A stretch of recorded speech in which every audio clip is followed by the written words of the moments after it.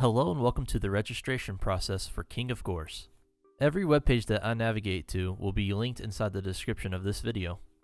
First off, open up your web browser and navigate to the URL box and type in kog.tw forward slash register.php. Please enter your in-game username, your email address, and your password. Your username is case sensitive, so make sure it matches what you use inside of our servers. Also, make sure the account has at least one point. The password should not exceed 10 characters, must only use printable characters, and cannot contain any special characters. Make sure to tick the box, complete your CAPTCHA, and then click register. A green or a red text box should appear. The next step is to join our Discord and use the ticket system. An invite is inside the description. Click the channel called Create a Ticket. Scroll down to the very bottom of this page and click the registration button. This will open a ticket. Provide any information the moderator is asking for, and do as they say.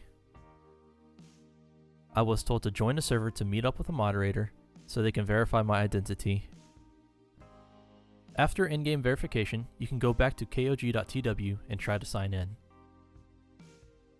You have the option to link your Discord account, but first, navigate to the top right and click Dashboard, where you will accept our terms of service. Please read our terms of service, and if you accept, click the accept button. You have finished the first step of account creation. Next is the migration process. Please open a new tab and type in the URL box auth.kog.tw.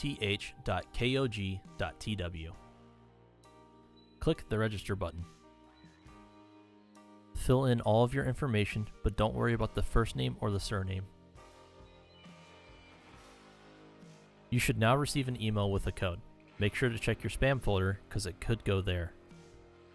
After opening the email, you can either copy the code or click the button. You should be prompted with the message User Activated. Click the next button and log in. I highly suggest enabling two-factor authentication. I will not because this account is fake. Feel free to edit any information while you're here. You do not have to use your real first name or your surname, but once you're done, navigate back to kog.tw. On the homepage of kog.tw, click the Start Migration button. Below that, there's a Next button. Click that. Click Start Migration now.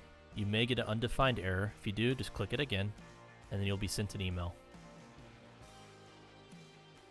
Open the new email Click Migrate Now and you should be redirected back to kog.tw. Click the button that says Log into KoG1 and then make sure to log in and then you should be redirected back to this website. Congratulations, you're done.